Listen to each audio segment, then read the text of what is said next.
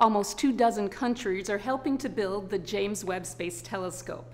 Canada is responsible for what some call the observatory steering wheel, otherwise known as the Fine Guidance Sensor, or FGS.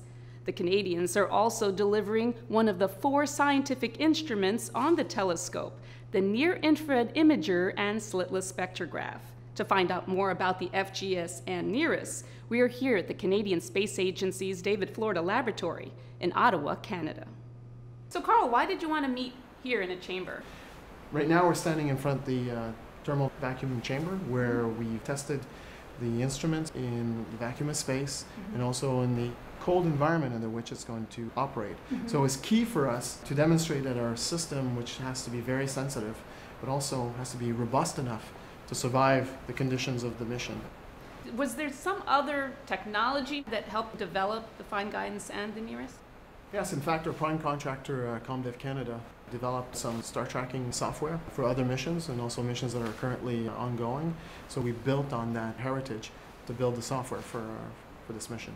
So were there any other challenges you had to overcome to build FGS and NIRISS? Yeah, in fact, uh, our team is spread over uh, three time zones. So mm-hmm. in order to keep communications flowing and also getting decisions in as much as real time as possible, that was a challenge. But we had a good team, a team that really believed in the mission.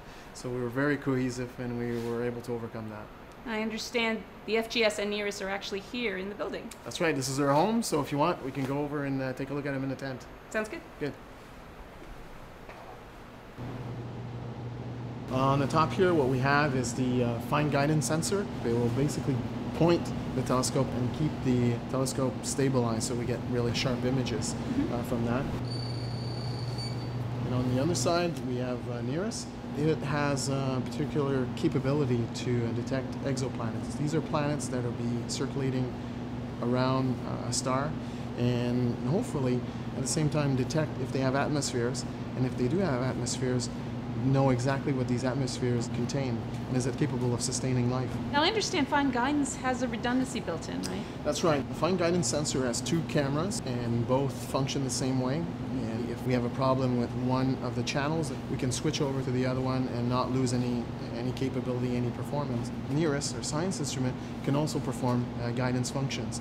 So it's like as if we have a third level of redundancy uh, as part of the Canadian package. Thank you, Carl, for showing us the fine guidance sensor and the NIRISS. You're very welcome, Mary.